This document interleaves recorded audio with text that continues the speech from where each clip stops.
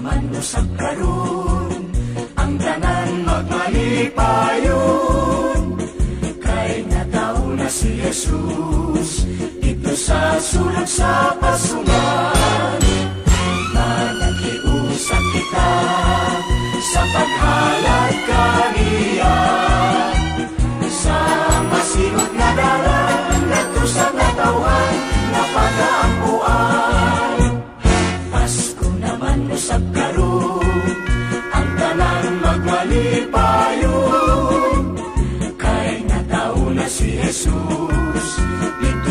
apaixonado, sou apaixonado.